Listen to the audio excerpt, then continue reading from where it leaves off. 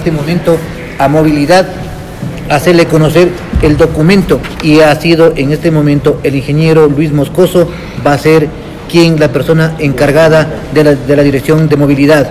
Agradecer al señor alcalde por ser transparente a su nombre y, al, y a la institución que lo, que lo dirige y nosotros nos encontramos completamente de acuerdo a la lucha que nosotros hemos venido e informando de todas las anormalidades que hemos recabado por las denuncias existidas en las redes sociales.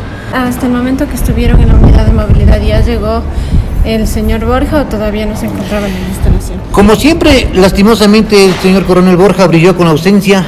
Cuando nosotros hemos solicitado la documentación, la misma cosa, el día de hoy igual. No sé, estará enfermo, con descanso médico, no lo sé. Pero hasta el momento nos llega y más bien tenemos en este momento un documento oficial ya.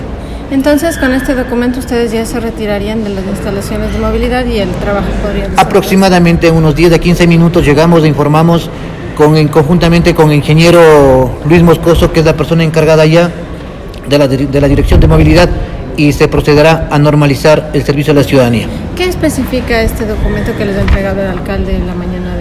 Manifiesta que en ejercicio y atribuciones establecidas en el artículo 60, literal I, del Código Orgánico de Organización Territorial Autónoma y Descentralización, COTAD, he dado por terminado el nombramiento de libre remoción del coronel Milton Borja, quien desempeñaba como director de movilidad de la GAD municipal de La Tacunga.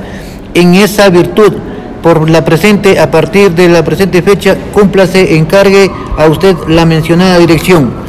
Esto da que decir a todas las personas invitadas, invitamos quienes hayan sido perjudicados, sean parte de, esta lucha.